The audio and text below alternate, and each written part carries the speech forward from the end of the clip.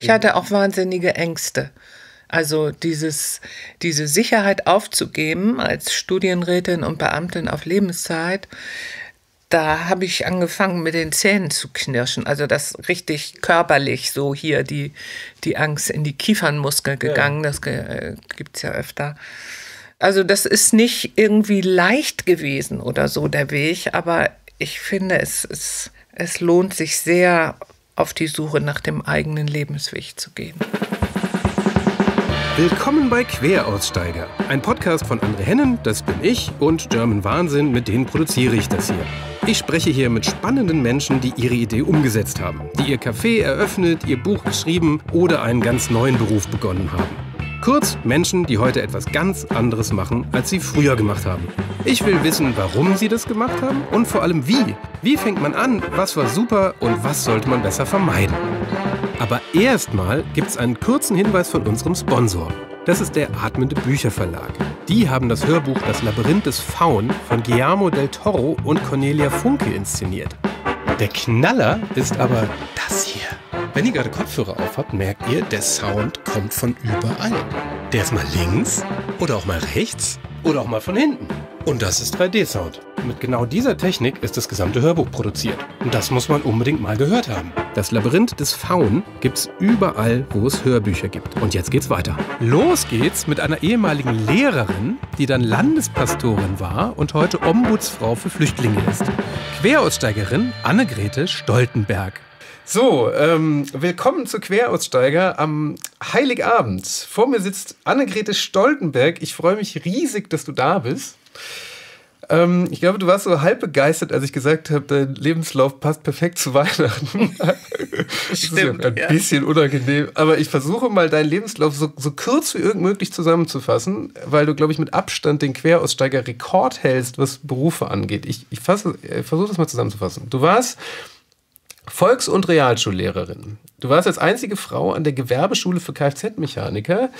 Du warst Studienrätin, dann hast du evangelische Theologie studiert, dann warst du Pastorin, dann warst du Landespastorin, Vorstandsvorsitzende des Diakonischen Werkes, Oberkirchenrätin, hast eine Ausbildung zur Psychodramaleiterin, warst Vorsitzende der Diakonischen Bundeskonferenz, Mitglied der Kirchenleitung der Nordkirche, bist im Rundfunkrat im NDR, Kuratorium der Hamburger Sparkasse, Herausgeberin des Straßenmagazins Hinz und Kunst, saß mit dem Dalai Lama zusammen auf der Bühne und bist jetzt heute Ombudsfrau im zentralen Koordinierungsstab für Flüchtlinge und hast trotzdem noch eine Stunde Zeit für diesen Podcast. Ich bin, ich bin im Ruhestand. Das ist unglaublich. Ja, ich, äh, also damit wir das irgendwie alles in, also normalerweise reden wir so eine Stunde, aber ähm, ich glaube, das könnte auch so, wird sich total ausufern. Ich fange mal ganz vorne an. Also, warum bist du eigentlich mal Lehrerin geworden? Also aus einem äh, sozialen und pädagogischen Interesse. So, ich habe zunächst aufs höhere Lehramt studiert, Germanistik und Politologie, und habe dann gemerkt, das war ich habe 69 Abitur gemacht, also in den 70er Jahren, in dieser Bildungseuphorie-Zeit, mhm. ähm, dass ich dachte, na, ich muss jetzt nicht die Gymnasiasten unterrichten. Ich gehe mal so an die Basis, da wo man Menschen noch helfen kann und die durch Bildung fördern kann. So. Und deswegen habe ich geswitcht und äh, das Studium äh, früher beendet, eben Volks- und Realschullehrerin. Und äh, war das auch unheimlich gern. Und da hattest du aber, ähm, ich hatte gelesen, es waren so schwierige Jugendliche, bist du dann da? Ja, ich, ähm, also im Referendariat, in dieser zweiten Ausbildungsphase, wo man das erste Mal dann in die Schule geht, ähm, oder also kontinuierlicher in die Schule geht, da stellte sich raus, dass ich mit schwierigen Jugendlichen ganz gut zurechtkomme. Und deswegen sind die auf die Idee gekommen, mich als erste Frau an die Gewerbeschule für Kraftfahrzeugmechaniker zu versetzen. Da waren 3000 männliche Schüler und 120 männliche Kollegen. Mein Gott. Und ich war die erste und einzige Frau. Sonst kannte man Reinmache Frauen und Sekretärinnen, aber nicht, Frauen gab es sonst nicht. Inzwischen gibt es zum Glück auch weibliche Lehrlinge und auch weibliche Lehrkräfte, aber das war damals ein, ein deutlicher ähm, Tabubruch im Grunde für die Herren. Die haben sich auch gewehrt. Ach, und wie war das? Also, wie, also auch die, die Schüler? Haben, die Schüler also nicht. Bei, also, nee. bei, also beide Seiten. Also nee, nee, da, die, die Kollegen, die wollten keine Frau, die, das würde alles durcheinander bringen, haben sie schriftlich in meiner Personalakte hinterlegt. Aber ähm, der Oberschulrat fand, dass diese Schule mal aufgebrochen werden muss. Und dann habe ich gesagt, ich möchte da nicht hin, wenn die mich nicht wollen. Und dann hat er gesagt, ähm, doch, da müssen die Frauen rein, die leben in der Zeit, die, die nicht mehr existiert. Und äh, sie haben unsere volle Unterstützung. Und dann bin ich da reingegangen. Ja, das war aber heftig. Ich war 23. Und wie setzt man sich da durch? Ja, also Deutsch und Politik sind die Fächer, die sie absolut überflüssig finden. Deswegen habe ich ganz schnell noch eine kleine Fakultas, heißt das, also eine kleine Lehrbefähigung in Mathe gemacht. Das ist auch eigentlich mein Herkommen, naturwissenschaftliches Gymnasium. Und äh, dann war ich außerdem Volleyballtrainerin und damit durfte man die Jungs zum Konditionstraining auf den Sportplatz äh, treiben. Und das habe ich immer freitags ab etwa vierter Stunde gemacht, weil da war kein Unterrichten mehr möglich. Ja, also so verschiedene Sachen. Ich habe aber sehr viel gelernt da natürlich. Was denn? Ja, mit, mit jugendlichen, äh, jungen Männern damals eben fertig zu werden, die mh, ja, zum Beispiel die Löwen von der HSV Fangruppe oder so. Also die eigentlich nur andere Formen der Auseinandersetzung kennen. Und ja, so ein Deutsch- oder Politikunterricht ist eben Diskurs basiert mhm. und man unterhält sich nicht, sondern man schlägt eben Argumente sich um die Ohren so und das andere zu lernen und ähm, dass die einen akzeptieren und so weiter. Das ähm, also eine Haltung vor der Klasse, die einerseits die Rolle nicht in Frage stellt, andererseits freundlich und ähm, also Interesse an jedem Einzelnen hat und so, so, das konnte ich da ausprobieren. Das wollte ich immer, aber da wurde es eben hart geprüft.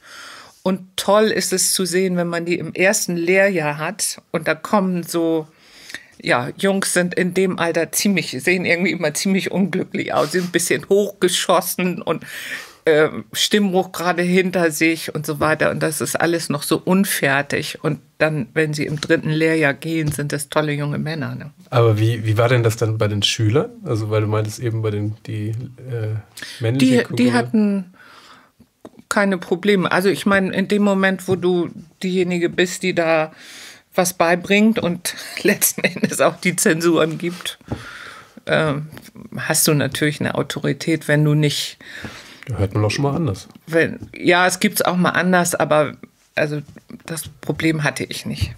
Wie endete deine Zeit an der Gewerbeschule? Also dadurch, dass ich mich da bewährt hatte, hat der Hamburger Senat mich damals mit 26 äh, berufen, ein Sonderprojekt des Hamburger Senats einzurichten und zu leiten. Das hieß ähm, Hauptschulabschluss an der Volkshochschule. Da konnten junge, erwachsene Arbeitslose den Hauptschulabschluss nachholen. Das gibt es inzwischen ganz viel, aber das war 1976 ein Pilotprojekt bundesweit. Ähm, das also da, das war relativ neu, dass junge Menschen ohne Hauptschulabschluss die Schule verließen und dadurch nicht in die arbeitsmarktpolitischen Maßnahmen reinkamen. Also dafür mhm. musste man den Hauptschulabschluss haben. Und deswegen haben wir die über 18-Jährigen mit so Sonderkursen äh, zum Hauptschulabschluss geführt. Das habe ich eingerichtet und geleitet. Auch nochmal drei Jahre, ja. Das war auch ein großer Erfolg, gibt es immer noch. Und warum hast du damit dann aufgehört? Das ist schwer zu ähm, formulieren. Also, also ich war am Ende meiner Kräfte. Also das sind ähm, Schüler, die sehr viel, oder Teilnehmer, das waren ja Erwachsene, aber die sehr viel Einsatz und sehr viel Engagement benötigen.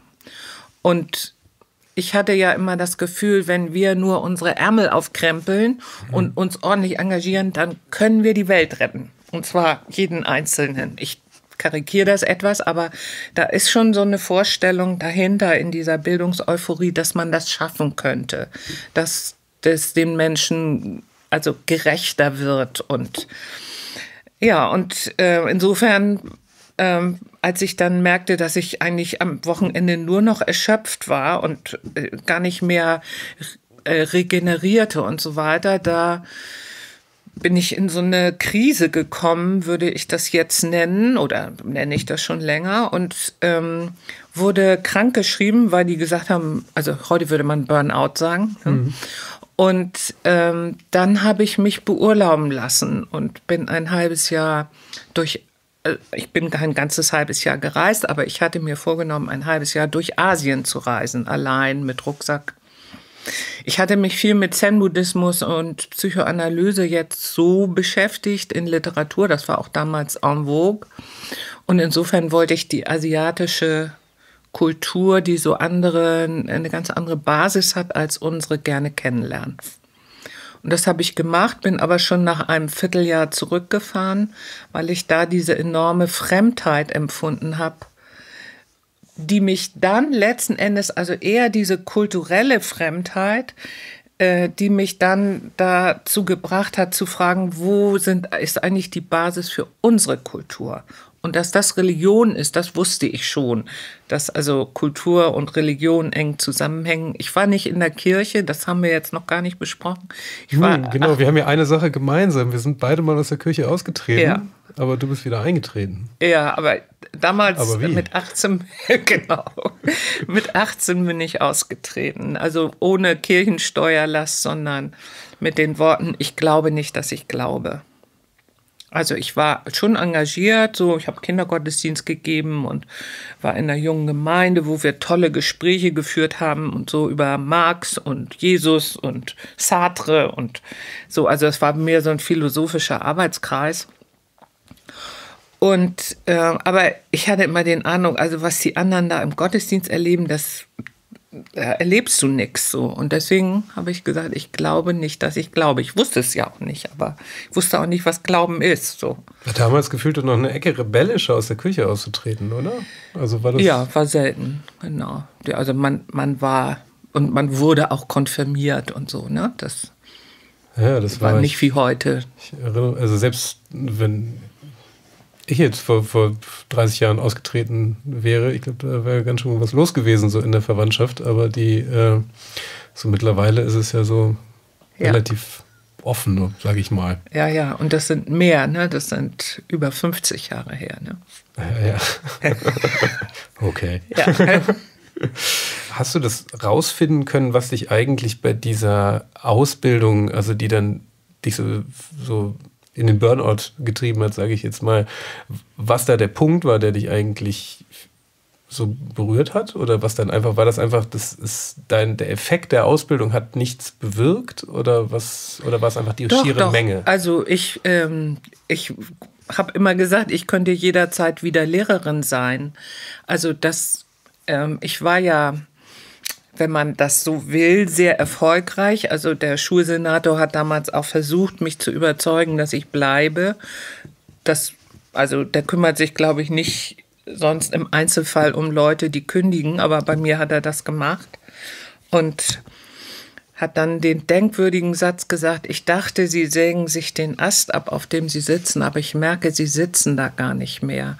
Und das war für mich eine Wahnsinnsermutigung, dass der spürte, dass ich tatsächlich auf einem Weg zu einer Veränderung war, ohne dass ich wusste, wohin es geht. Krass. Und was, wie, wie war die Zeit in, in, in Asien dann genau? Also was ist da ja, passiert? Ja, also ich bin erst nach Nepal gereist und da, da konnte ich das gar nicht aushalten, weil hm, das liegt ja hoch, da ist, ist kalt, da ist Schnee, wenn man nach Pokhara fährt oder so. Und die Leute waren arm, die waren mit bloßen Füßen und es, es war, also man geht an dem Elend der anderen vorbei und das war für mich kaum auszuhalten.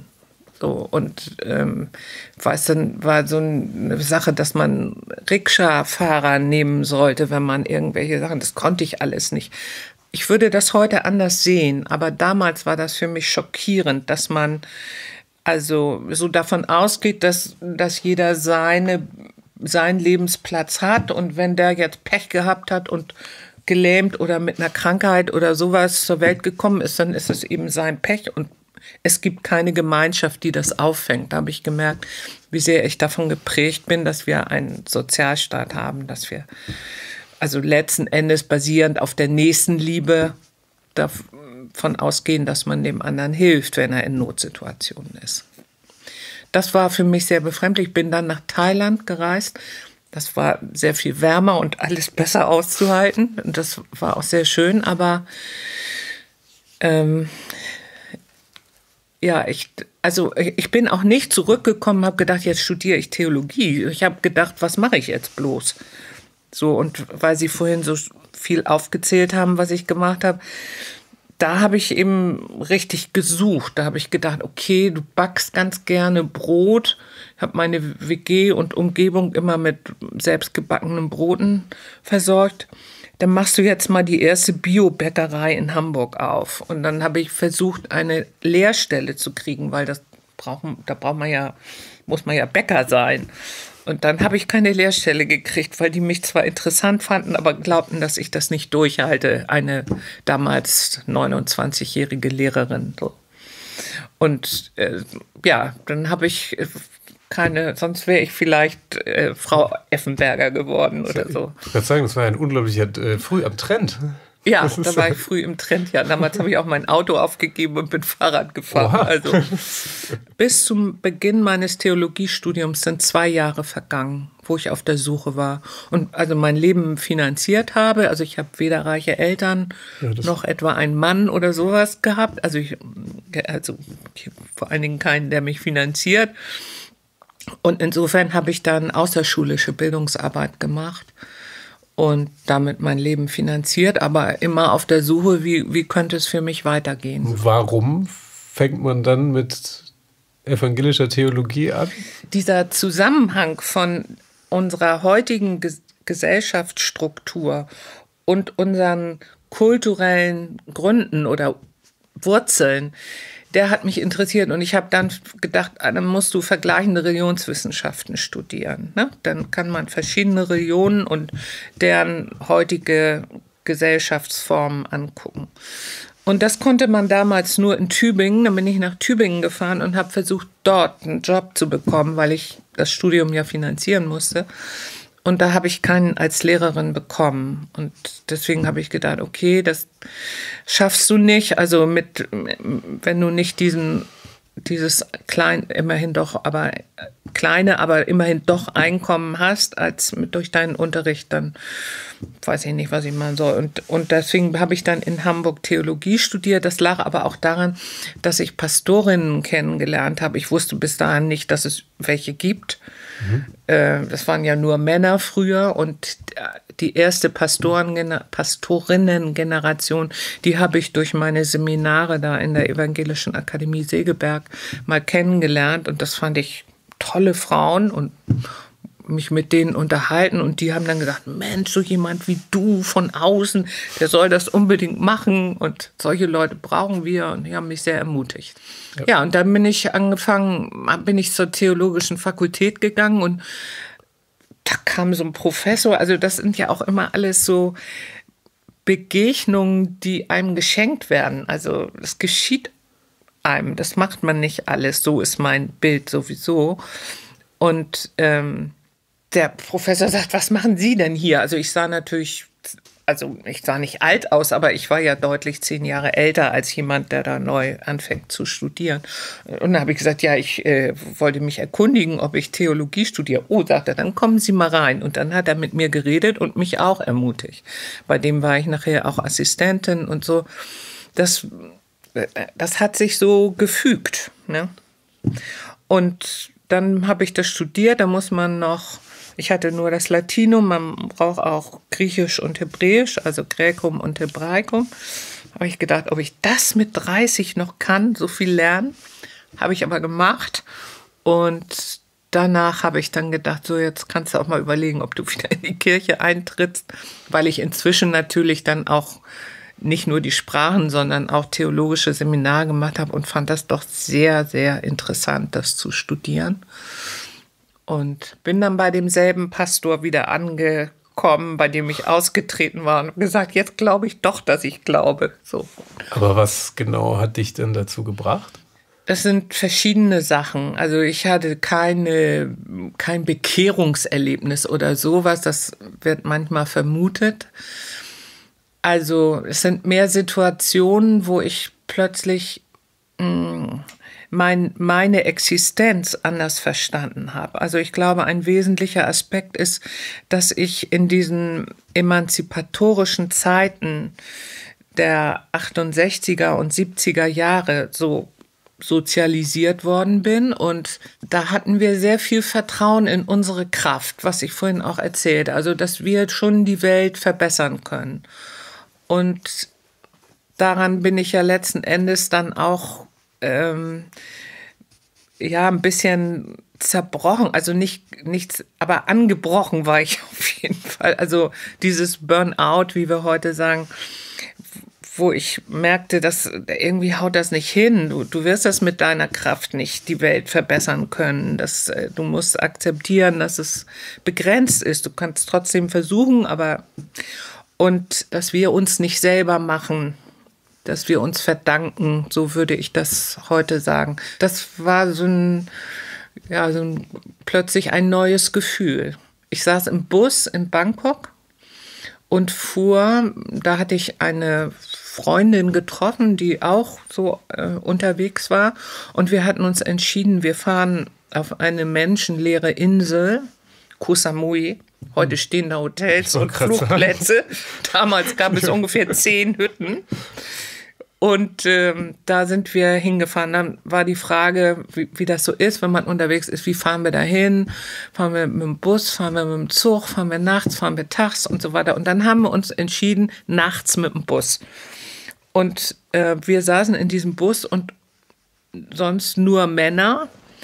Und ähm, die Freundin schlief irgendwie so ein und ich war aber hellwach. Und wir fuhren und fuhren und fuhren fand ich, durch Bangkok. Also es nahm überhaupt kein Ende. Ein Markt nach dem anderen und so. Plötzlich hielten wir an. Ich wusste nicht, was los war und so. Ich, ich wurde sehr ängstlich. Da habe ich gedacht, wie um Himmels Willen bist du eigentlich auf die Idee gekommen, mit diesem Bus hier zu fahren und, und äh, du kennst es alles nicht, du kannst es nicht lesen und hier spricht auch kaum jemand Englisch und sowas. Naja, und dann habe ich so ein, wie so ein ja, wie so ein Kind oder wie soll man sagen, immer gedacht, ja, du warst da und hast dich für den Bus entschieden. So, und vorher war dies und dies und dies und bin die ganze Kausalkette zurückgegangen, wo ich mich ja immer entschieden habe, dass ich nach Thailand fahre, dass ich mich beurlauben lasse, dass ich so, bis, dass ich das Studium gemacht habe und so weiter. Bis zurück und trotzdem hatte ich das Gefühl, du hast dich immer entschieden und doch ist da, bist du einen Weg geführt worden. Und dieses Gefühl, das habe ich früher immer gedacht, also entweder ist man autonom oder man ist leider so ein Sklave von irgendeinem fremden Gesetz, vielleicht auch göttlichem Gesetz. Und das wollte ich nicht. Und plötzlich war das für mich viel das zusammen. Also das hat nichts von meiner Verantwortung, nichts von meinen Entscheidungen genommen. Und dennoch habe ich ein Gefühl von geführt werden oder Fügungen. Und insbesondere, wenn Menschen mir begegnen, empfinde ich das, das mache ich nicht, sondern die kommen und und ähm, entweder wird es ein Kontakt oder nicht oder so. Und das ist eigentlich, das, das kann ich ja nicht nur machen. Daran finde ich, wird es besonders deutlich. Natürlich wird es auch deutlich am Tod und natürlich wird es auch deutlich, wenn wir ein Kind bekommen oder so. Das können wir nicht machen. Also wir, wir können da unseren Beitrag leisten, aber ja, letzten Endes, dass ja. es glückt und gelingt und dass das Kind gesund wird und was weiß ich. Das ist doch alles auch geschenkt. Du warst ja verbeamtet tatsächlich, ja, oder? Ja. Ich meine, das ist ja der, der sicherste Arbeitsplatz, genau. den man in Deutschland haben kann. Ja. Ich hatte auch wahnsinnige Ängste. Also dieses, diese Sicherheit aufzugeben als Studienrätin und Beamtin auf Lebenszeit, da habe ich angefangen mit den Zähnen zu knirschen. Also das richtig körperlich so hier die, die Angst in die Kiefernmuskel gegangen. Ja. Das äh, gibt es ja öfter. Ja, da muss, also das ist nicht irgendwie leicht gewesen oder so der Weg, aber ich finde, es ist es lohnt sich sehr, auf die Suche nach dem eigenen Lebensweg zu gehen. Ja, also dass man eine Verbeamtung aufgibt, da, da muss die Weichenstellung aber sehr, sehr deutlich sein. Also ja, aber ohne dass sie konkret war, ne? Ich, ja. ich wusste nur, irgendwie geht mein Weg anders weiter. Aber wie und woher ich diese Gewissheit hatte, oder keine Ahnung. Und wie war dann der Job als Pastorin? Ja, das war. Ähm, ja jetzt, äh, man könnte ja so naiv denken, es ist ja bei, als Lehrerin und als Pastorin stellt man sich in beiden Fällen zumindest erstmal vor eine Menschenmenge und erzählt was. Ja, ich glaube, es ist doch ein bisschen anders. Ja. Als Pastorin steigt man auf die Kanzel und die Gemeinde schweigt. In der Klasse muss man schon auch ein bisschen Dompteur sein, jedenfalls, wenn man schwierigere Schüler hat, ja. Du, du warst dann äh, Pastorin, wie ist da, wie, wie sieht dieser Job aus? Ich sage jetzt mal äh, explizit an Leute äh, gerichtet, die jetzt ja. nicht besonders oft in der Kirche sind. Ja, also ähm, das Erste ist, wenn ich sage, ich bin Pastorin, dann fragen die evangelisch oder katholisch. Das kann man schon mal klar beantworten. In der katholischen Kirche gibt es natürlich keine Frauen, die Pastoren oder Priesterin werden dürfen. Das ist nur in der evangelischen möglich. Und äh, dann stellen sich die meisten, wenn sie überhaupt eine Vorstellung haben, vor, dass man Gemeindepastorin ist. Also da, wo die Kirche ist, im Dorf, und da predigt man jeden Sonntag und der Laie fragt sich, was macht die sonst? Vielleicht noch mal eine Beerdigung oder so. Siehst mich dezent nicken. Äh. ja, genau. Und ähm, ich war, ich war im Vikariat, so heißt da die praktische Phase. Da war ich in Langenhorn in einer ganz normalen. Äh, Was ist ein Vikariat? Vikariat ist wie Referendariat, also die praktische Phase. Man studiert ähm, zwölf Semester und äh, Dann macht man noch mal zweieinhalb Jahre eine Praxis und dann noch mal ein Examen. Erst dann ist man wirklich Pastorin. Wie bei den Ärzten praktisches Jahr oder so. Das ist eine richtig lange Ausbildung. Das ist eine sehr lange Ausbildung. Man studiert auch sechs Fächer. Geschichte, Philosophie, Altes Testament, Neues Testament, praktische Theologie und eins habe ich noch vergessen. Weiß ich gerade nicht. Ja, aber, ja, ja, das ist. Und das ist auch, das, das war auch toll an dem Studium. Ich habe nochmal richtig, das ist wie ein Studium Generale. Also man kriegt nochmal eine ordentliche äh, Allgemeinbildung. Das Studium war toll. Schon im Vikariat kriegte ich tolle Angebote, weil ich eben älter war, mit Lebenserfahrung kam und ja, mit diesem ausgestiegen und wieder rein oder so. Damit war ich natürlich auch gerade für Menschen, die Kirchen distanzierter sind, eine geeignete Gesprächspartnerin oder wie soll man sagen. Und äh, da wurde ich an den Michel berufen. Ach. Hamburger Michel. War auch noch nie eine Frau vorher. Und ähm, als Pastorin. Ne? Ja. Und der Michel hat eine Wiedereintrittsstelle, wenn, wenn man nicht so in seine Ortsgemeinde eintreten will, sondern irgendwie einfach nur wieder in die Kirche. Und dann, die, die durfte ich machen. Und das war dann immer toll, wenn die dann kamen und so, oh ja, und ich bin ja ausgetreten und so. Und ich dann sagen konnte, ja, ich auch. Und war natürlich immer gleich Entspannung angesagt. Ja, also die, die Arbeit als Pastorin am Michel besteht darin, dass man natürlich predigt und so eine Predigt vorzubereiten dauert relativ lange, wie eine gute Rede. Ne? Ja. Da, da, sitzt man, da redet man vielleicht eine Viertelstunde oder meinetwegen 20 Minuten oder irgendwie sowas, aber da sitzt man ein paar Stunden dran. Das weiß jeder, der gute Reden vorbereitet. Ne? Das ich wollte gerade sagen, eine gute Rede oder Predigt braucht ja. Vorbereitung, weil wenn ich jetzt noch an meine alte Kirche denke, also das wurde nicht vorbereitet. Na, in der katholischen Kirche haben die Predigten auch gar keinen solchen Stellenwert. Ne? Da ist die Liturgie vorne. Ja. Das, das prägt den Gottesdienst. Und in den evangelischen, die sind wortorientiert.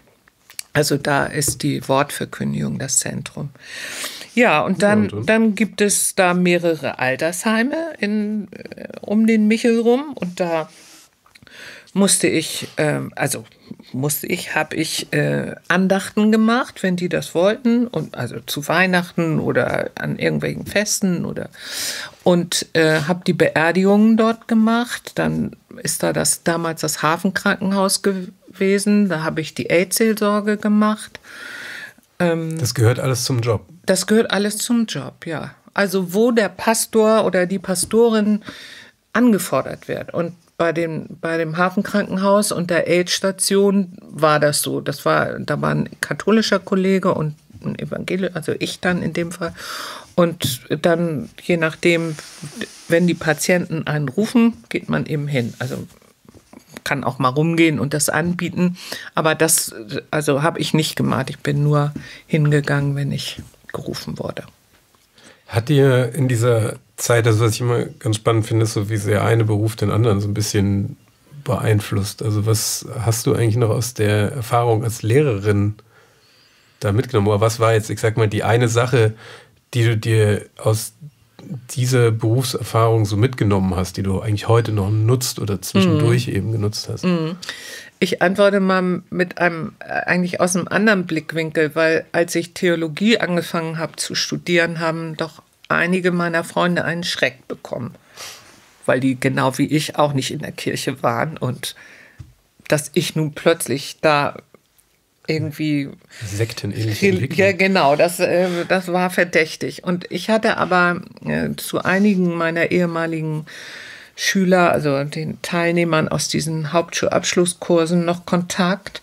Und der eine also wir haben richtig, also waren befreundet, an denen habe ich auch sehr weiter gefördert bis zum ähm, bis zur HWP, bis zum HWP-Studium.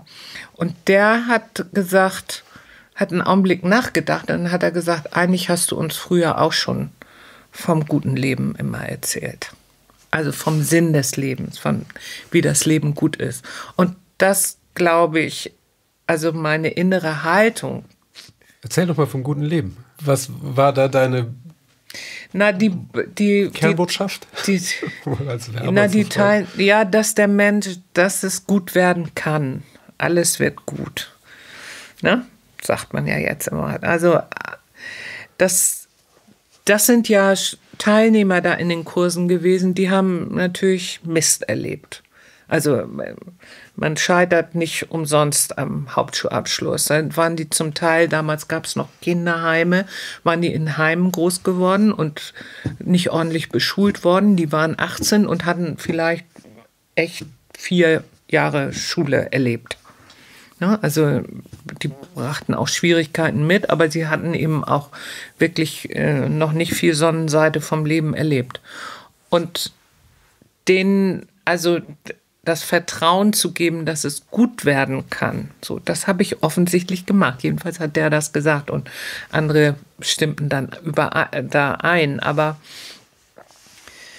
ja, das, das ist ja eine Haltung, die ich von ganz woanders mitgebracht habe. Das Vertrauen ins Leben und. Woher? Von also, oben, von meinen das, Eltern. Ja. Ah, das hat so verschiedene. Ja, also mein Vater hat immer deutlich gemacht, dass der hat Widerstand geleistet im Faschismus und war für mich natürlich eine große Orientierungsfigur so und äh, der hat eigentlich immer deutlich gemacht, dass also dass es sich lohnt für Gerechtigkeit zu kämpfen und dass es auch die Pflicht ist, dass wir Verantwortung haben, aber dass es sich auch lohnt, dass dieses Leben schön sein kann. Hm, schöner Satz. Du hast dann ja als in deinem Job als Pastorin ja tatsächlich ganz gut Karriere gemacht. Ähm, Innerkirchlich, ja. Innerkirchlich, ja. Das Außen kennt das keiner, aber in, innerkirchlich war das ein Sprung. Ja, ja. Wie, wie, wird man dann Landespastorin? Also wie unterscheidet sich das? Ähm, also das ist einfach ein Titel. Ähm, also der, der entscheidende Sprung war vorher, dass ich vom Studium aus schon äh, von der Uni in die Bundeszentrale der evangelischen Kirche in Deutschland empfohlen wurde, nach Hannover als wissenschaftliche Mitarbeiterin. Und da haben sie mich irgendwie so wahrgenommen, dass sie mir dann die Bildungsabteilung nach einem Jahr anvertraut haben. Oberkirchenrätin war ich da und hatte eine Abteilung und habe die Bildungsarbeit der evangelischen Kirche in Deutschland koordiniert. Das ist so eine Arbeit, wo sie Leute denken, oh, was macht die denn da? Gibt die Seminare oder so? Man muss sich das vorstellen, die Bildungsarbeit geht ja von der Kita bis zu den Alten, also theologische ja. Fakultäten, alle pädagogischen Hochschulen. Also die, die Kirche macht ganz viel Bildungsarbeit. Und die ganzen Bereiche, da hatte ich natürlich so ähm, Leute in der Abteilung, aber Referenten, aber die werden eben koordiniert bundesweit. Und das habe ich gemacht. Was dann ja auch, ähm, ich glaube, zur gleichen Zeit oder danach ja eben Vorstandsvorsitzende des Diakonischen Werks. Ja, das, also das, das andere war in Hannover, zehn mhm. Jahre. Und dann hatte ich das Gefühl, ich möchte gern wieder näher ran. Also das, diese Bildungssache da, das kann sich immer kein Mensch vorstellen, was mhm. man da macht. Ich selber fand es toll, aber ähm, ja, und ähm, dann fragte mich mein Vorgänger, ob ich hier die Diakonie in Hamburg leiten will. Und da nennt sich das dann Vorstandsvorsitzende des Diakonischen Werkes. Und der Titel, der dazugehört, ist Landespastorin, weil man sowas ist. Ich, ich will mir keinen bischöflichen Rang anmessen, aber man ist quasi die Bischöfin in der Diakonie, in der Sozialarbeit der evangelischen Kirche. Ich glaube, du musst natürlich mal ganz kurz erklären, was eine Diakonie ist. Ähm, also als Katholik würdest du Caritas kennen wahrscheinlich. Ja. Ja, die Diakonie ist die soziale Arbeit der evangelischen Kirche. Ach so, das also alles. Altenheime, Behinderteneinrichtungen, äh, Suchtberatung, Schulden, äh, Schuldnerberatung, Ehe- und Lebensberatung, Erziehungsberatung, Jugendhilfe. Ja, 20.000 Menschen arbeiten in Hamburg in der Diakonie. 20.000 in Hamburg? Ja. Das äh 400.000 bundesweit, auch in der Caritas 400.000. Das ist einigermaßen beeindruckend. Es gibt da, viele Menschen, die soziale Arbeit machen, ja. Aber ist es dann ehrenamtlich und auch gleich? Nein, nein, nein, das sind Berufe. Also die sind dann Ärzte, Krankenschwester, Altenpfleger, Sozialpädagogen, mhm. Kindergärtnerinnen. Ah. Dann hast du ja noch, äh, wie kamst du dann an, an sowas wie ähm, ich sag mal, ich fasse es mal zusammen, Kirchenleitung, Rundfunkrat und äh, sowas wie Kuratorium, Sparkasse, was du dann auch noch. Ja, das sind verschiedene Sachen, die mit dieser Funktion als Landespastorin und Leiterin des Diakonischen Werkes Hamburg zu tun haben. Also zum Beispiel das Kuratorium der HASPA ist ein Gremium, was wenig zu sagen hat, aber ähm, äh, sozusagen die Vernetzung in Hamburg fördern soll. So. Und ja. da sucht sich die Haspa immer Leute, die irgendwo Player sind. Und in, der, in den Wohlfahrtsverbänden, in der gemeinnützigen sozialen Arbeit ist die Diakonie der größte Player. Und deswegen wurde ich gefragt, ob ich da reinkomme. Für die Kirchenleitung muss man kandidieren ob man von der Synode, das ist natürlich ein ganz anderes Prinzip, ein demokratisches Prinzip als in der katholischen Kirche. Also wir haben sowas wie äh, Versammlungen, also die Kirchen, jede Kirchengemeinde wählt einen Kirchengemeinderat, der entsendet zwei Vertreter in so einen Kirchenkreis, wo mehrere Gemeinden drin sind und jeder Kreis entsendet dann in die Landeskirche. So. Und diese Gesamtsynode wählt dann die Kirchenleitung. So, das sind ganz äh, unseren äh, bundesrepublikanisch demokratischen Prinzipien ganz parallele Sachen, ganz anders als in der katholischen Kirche. Ah. Dieser ganze Job als Pastorin in jeder Ausprägung, ja. was war da so gefühlt deine, also hast du da so eine Erkenntnis oder irgendeine eine, eine, eine Erfahrung aus dieser Zeit, die du dann komplett mitgenommen hast, die irgendwie beeindruckend Boah, oder ganz Das sind viele? zu viele. Das kann, da kann ich nicht eine nennen. Aber wie sich das ändert, dass das permanent ein Prozess bleibt. Also Ähm, dadurch, dass ich eigentlich über den Buddhismus zum Christentum wieder zurückgekommen bin oder darüber danach gefragt habe, habe ich natürlich von vornherein eine große Offenheit. Also mein Bild ist eben, dass es nur eine Transzendenz gibt, nur eine Energie, die uns geschaffen hat, die wir Gott nennen und dass die Menschen überall verschiedene Bilder für diese Energie entwickeln und deswegen verschiedene Religionen mit eigenen Denksystemen, aber jeder denkt sich was, aber dies, was uns alle geschaffen hat und unser Universum und so weiter, dem können wir uns bestenfalls nähern und wir wissen auch nicht, wie falsch wir damit liegen. So, das ist mein Bild. Also ich bin mhm. nicht, ich kenne mich am besten aus im Christentum. Ich weiß, dass mir diese Symbole was bedeuten, dass das ein Gottesbild ist, mit dem ich ähm, etwas anfangen kann. Aber ähm, die anderen können genauso recht haben und das liegt daran, dass ich in dieser Kultur groß geworden bin. Deswegen kann ich damit was anfangen. Und das hat sich eher verstärkt, so diese, äh, jetzt bin ich im Ruhestand, so kommen auch meine psychotherapeutischen und äh, Psychoanalyse da, diese Sachen, die kommen so stärker und verbinden sich auch noch mal mehr. Stimmt, wie war eigentlich die Ausbildung Psychodramaleiterin? Was ja, macht man denn da? Sagen ja die meisten, äh, Psychodrama habe ich selber zu Hause. Ja, ja das Wort ist. ja, nein, das ist, ähm, Moreno hat das erfunden, der ist ähm, ein Zeitgenosse, also der hat Freud und Jung noch kennengelernt, ist aber jünger. Und ähm, seine Erfahrung war, dass man ähm, psychische Prozesse auf die Bühne bringen kann. Also das ist ja auch in den alten griechischen Vorstellungen der reinigenden Kraft im Theater, Katharsis. Mhm.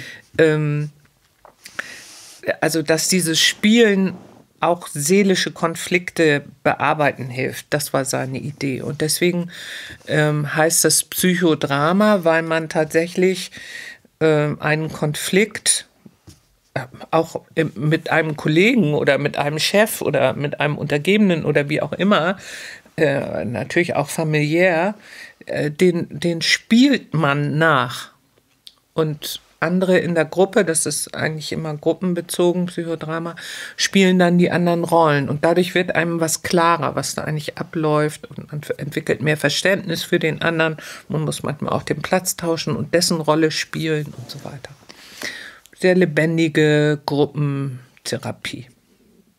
Wird viel angewandt auch, ohne dass es ähm, also immer Psychodrama heißt. Ne? So. Aber hast du da eine Anekdote? Also ich kann es mir tatsächlich nicht vorstellen. Ja, ich habe ähm, gearbeitet damit als ähm, bei Siemens und habe Führungskräfte fortgebildet in Kommunikations- und Konfliktverhalten. Und äh, das waren äh, Führungskräfte. Siemens ist ja sehr hierarchisch, ne? da wusste man genau, auf welcher Ebene man sich bewegt. Ähm, haben die, ähm, das war so deutsche Ebene und die ersten waren auf dem Weg nach europäisch, auf, zu europäischen Funktionen und mussten diesen Kurs in Konflikt- und Kommunikationsverhalten machen. Über anderthalb Jahre, fünfmal, drei bis vier Tage. Das war sehr luxuriöse Fortbildung. Gibt es heute natürlich nicht mehr.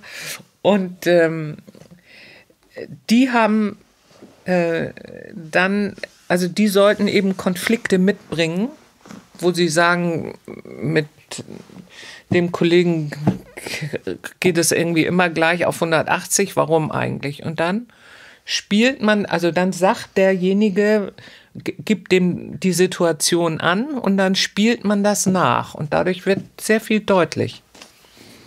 Mhm. Gab es da so eine Erkenntnis, was man so, weil ich glaube, diese, also äh, speziell ist diese Situation, die kennt ja gefühlt jeder. Ja. Ja, aber äh, also natürlich ähm, individualisiert. Also für denjenigen gibt es dann eine Erkenntnis. Er erkennt dann, wo seine eigenen Sachen sind. Also ich meine, meistens hat man ja auch Punkte, wo man zu triggern ist und das, das merkt man dann. Das ist bei also jedem anders. Hm? Das ist bei jedem anders. Dann ja, genau, genau. Und Ja, aber dann, dann kann man eben nächstes Mal anders reagieren. Also man ordnet den dann, man ordnet den Konflikt anders ein. So würde ich das sagen. Ja. Ähm, du bist ja heute Ombudsfrau im zentralen Koordinierungsstelle. Nee, nee, in der Flüchtlingsarbeit einfach. In der Flüchtlingsarbeit. Oh, Hamburger Ombudsfrau in der Flüchtlingsarbeit. Also, Wie kommt man denn dazu? Weil ich als Landespastorin ja in der Sozialpolitik, also das habe ich dir ja erzählt, ja, was die Diakonie alles mhm. macht. Insofern war ich in der Sozialpolitik Hamburgs bekannt. So. Und irgendjemand ist auf die Idee gekommen zu sagen, ob ich das machen wollte. Und da haben die, waren die wohl froh, weil sie merken, dass ich nicht so, ja, ich gehe nicht ideologisch daran, sondern ich finde, dass man Konflikte lösen kann. Da habe ich ein ziemlich großes Vertrauen. Und so arbeiten wir auch. Also ich habe zwei hauptamtliche Mitarbeiterinnen, aber die dürfen inhaltlich nur machen, was sie mit mir abstimmen. Also oder was ich sage, aber das letzten Endes ist natürlich ein Abstimmungsprozess. Ja. Sodass also ich nicht daran gebunden bin, was die Behörde an sich und ansonsten sagt oder mhm. die Politik, sondern wenn ich den Fall finde, dass man da was anders machen muss, dann schlage ich das vor und das wurde auch ziemlich erfolgreich umgesetzt. Ich glaube, du musst mal einmal ganz kurz den Begriff Ombudsfrau mhm. erklären. Ich genau, glaub, das ist ein Wort, das ungewöhnlich ist, kommt aus dem Skandinavischen und Ombu im Altskandinavischen heißt Vollmacht. Das waren also äh, Funktionen, denen von einer Organisation, es gibt auch Firmen, die Ombudsstellen haben, äh, denen wird die Vollmacht gegeben, ja, im Grunde Kritik an ihnen zu liefern. Also, ne, ich kann da hingehen, mich beschweren und die ist unabhängig. Also ich muss nicht befürchten, dass mein Vorgesetzter, bei dem ich mich beschwert habe, mich anschließend noch mehr drangsaliert, mhm. sondern ich gehe zu einer unabhängigen Person und die hat das Ohr der höchsten Ebene und dadurch also faktisch kommen vor allen Dingen Geflüchtete zu uns, die sagen uns, in meiner Einrichtung, wo ich wohne, da, also die sind alle noch in diesen mhm. öffentlichen Unterbringungen, äh, da, da gibt es äh, Kakerlaken und es ist alles dreckig und äh, da wird nie sauber gemacht und so weiter. Und dann sagen wir, das ist ja furchtbar und dann schreiben wir das alles auf, dann setzen wir uns mit der und, ähm, Einrichtung in Verbindung oder fahren dahin, je nachdem. Inzwischen habe ich aber viele besucht, insofern fahre ich jetzt selten noch. Und äh, dann gucken wir, ob das stimmt oder ob äh, das doch ein bisschen anders aussieht. Und ob die Kakerlaken vielleicht da sind, weil nie gelüftet wird oder irgendwie sowas. Oder der Schimmel. Kakerlaken sind unabhängig. Aber so, also da konnte ich, äh, konnten wir vor allen Dingen am Anfang einiges zur Verbesserung der Situation machen. Inzwischen ist es aber so, dass das Regelsystem steht, die Strukturen, also gibt es ein internes Beschwerdemanagement und so weiter, das wird professionell gemacht. Deswegen ich ist die Stelle jetzt nicht mehr so nötig. Äh, von dem Job ziehe ich wirklich aus, aus, ganz vielen Gründen den Hut. Also wie man da, da zwischen den Fronten könnte ich mir das da sehr hm. spannend vorstellen. Also was.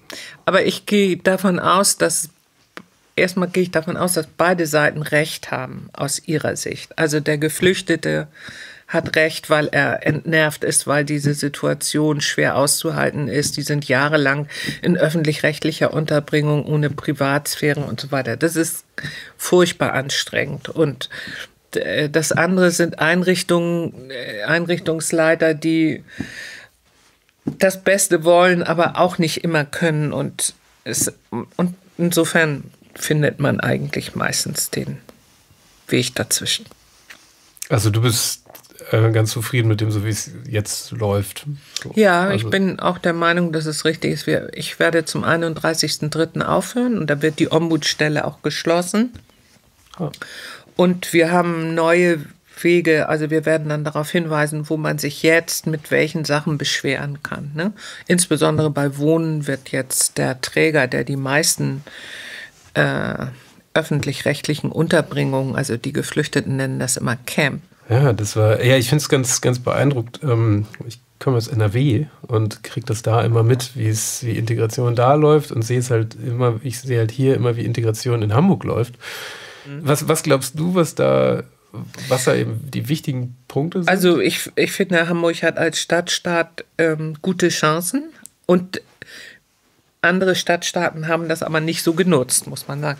Also ein Punkt ist zum Beispiel, das sind jetzt aber wirklich sehr strukturell politische Sachen, ähm, die Bezirke sind ja diejenigen, die eigentlich zuständig sind. Also die, die bauen diese Einrichtungen und Wohnungen und so weiter.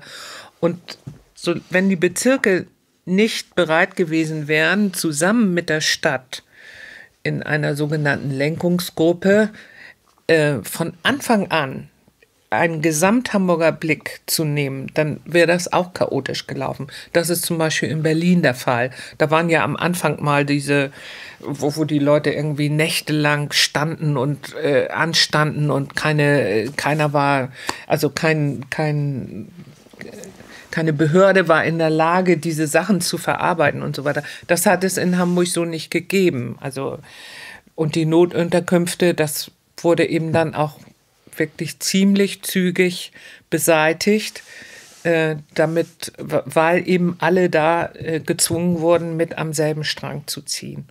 Das ist das eine. Und das andere, dieses ZKF, was Sie äh, äh, eben erwähnt haben, das ist auch ein ganz toller Schachzug gewesen, weil nämlich das ZKF zusammengesetzt ist aus Sozialbehörde und Innenbehörde und dass Sozialarbeiter und Polizisten unterschiedlich auf eine Situation gucken, ist ziemlich klar, glaube ich.